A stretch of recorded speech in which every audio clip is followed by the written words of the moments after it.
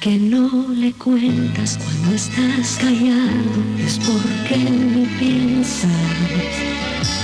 A que no le cuentas que te pones triste cuando a mí me dejas.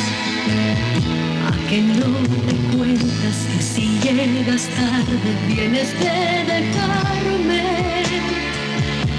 Que no me dices que ya no es tu dueña ni está en tu conciencia. A que no le cuentas de una vez por todas lo que estás viviendo.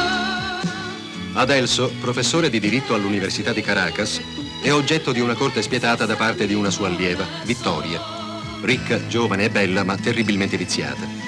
Nonché da parte di Miriam, professoressa di ginnastica nella stessa università. Tra gli altri alunni Diego, un ragazzo tanto violento quanto immaturo. Eloisa, la sua fidanzata, che sopporta sempre meno il suo carattere. Massimo, che ha studiato arti marziali in un convento buddista, convinto assertore della non violenza. Saverio, ex fidanzato ma sempre innamorato di Vittoria. Laura, una dolce ragazza cieca, sorella di Diego.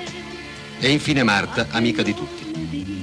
Fuori dall'ambiente universitario, Rodolfo, zio di Eloisa, responsabile della morte del padre di Massimo e di Omar.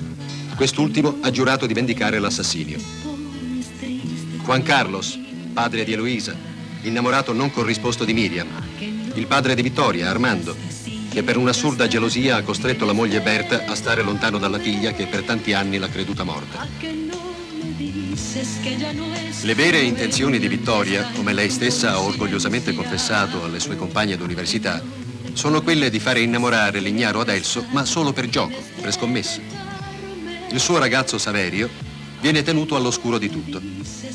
Nel frattempo Massimo, di ritorno dall'Oriente, viene accolto all'aeroporto dalla madre e dal fratello che nutre sospetti sul suicidio del padre.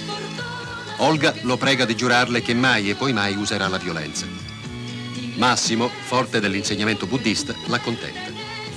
Intanto Vittoria va a trovare Adelso.